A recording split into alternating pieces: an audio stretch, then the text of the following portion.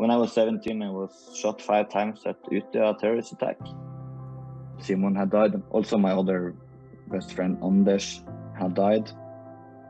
This picture here, it's of us three. It's me, Anders, Simon.